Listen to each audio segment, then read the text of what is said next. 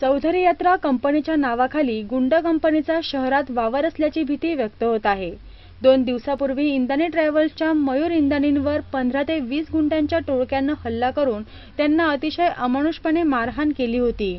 दरम्यान या घटनेनंतर चौधरी यात्रा कंपनीनं प्रवाशांबरोबर केलेली अरेरावीची भाषा शिवीगाळ अशा प्रकारच्या अनेक तक्रारी पुढे येत आहेत. प्रवाशांना प्रवासादरम्यान धमकवण्याचे प्रकार देखील नेहमीच घडतात. चौधरी यात्रा कंपनीमधील कर्मचारी हे सर्व परप्रांतीय असून या सर्व कर्मचाऱ्यांची चौधरी यात्रा कंपनीनं चारित्र्य पडताळणी केलेली नसल्याचं समजतंय. चौधरी यात्रा कंपनीत अशा प्रकारे गुंडांचा राज चालू असून याला चौधरी यात्रा कंपनीच खतपाणी घालत नसावी ना असा देखील संशय व्यक्त केला जात आहे. काही दिवसापूर्वीच एका खासगी वाहतूक करणाऱ्या कंपनीच्या वाहनातून परराज्यातून आणलेली शस्त्रे देखील नाशिक शहरात पकडण्यात आली होती. तरी अशा कंपनीच्या कामगारांची चौकशी व्हावी अशी मागणी स्थानिक ट्रॅव्हल्स कंपन्या करत आहेत आणि या गुंडांचा बंदोबस्त करण्यात यावा अशी मागणी पुढे येत आहे. मी राजेंद्र लक्ष्मीनारायण इंदानी इंदानी ट्रॅव्हल्सचा संचालक.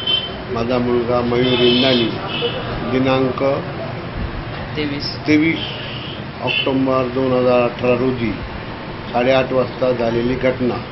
भक्तिधाम मंदिर येथे गाडी सोडताना चौधरी यात्रा कंपनीचे डायरेक्टर त्यांचे मॅनेजर रामसिंग या सर्व लोकांनी फोन करून आपल्याकडे पाळलेले गुंड जे परराज्यातून आणलेले राजस्थान हिमाचल इथून आणलेले लोक यांना त्यांच्या वाहनमध्ये बोलवून आणि फोन करून त्या मुलाला जबरदस्त मारहाण डोक्यावर मार करून यांना त्यांच्याच वाहनामध्ये चौधरी यात्राच्या बसमध्ये इथून घेऊन आपल्या यार्डमध्ये निघून गेले.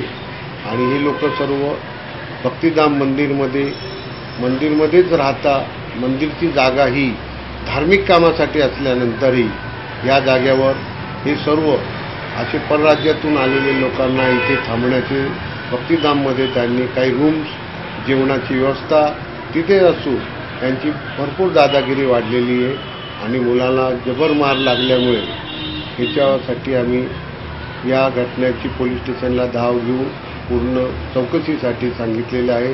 त्याच्याकडे असलेली रक्कम व पाच लाख रुपये तसेच अंगठी चेन व डोक्याला मार मुलगा आठ दिवस संजीवनी हॉस्पिटलमध्ये ॲडमिट होता.